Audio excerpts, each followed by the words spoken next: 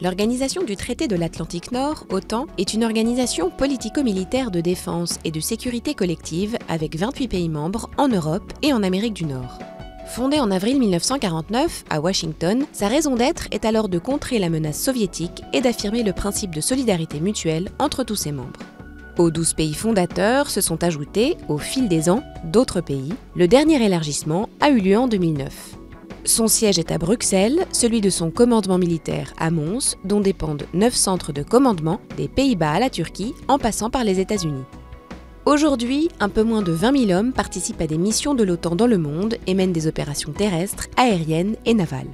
Ces forces sont actuellement déployées en Afghanistan, au Kosovo, en Méditerranée et au large de la Corne de l'Afrique. L'OTAN exécute en outre des missions de police du ciel et renforce le système de défense aérienne de la Turquie. Épine dorsale de l'organisation, l'article 5 du traité de l'OTAN stipule que toute attaque contre un des pays membres est considérée comme une attaque contre tous. Il a été invoqué pour la première fois en 2001 pour marquer le soutien des Alliés aux États-Unis après les attentats du 11 septembre.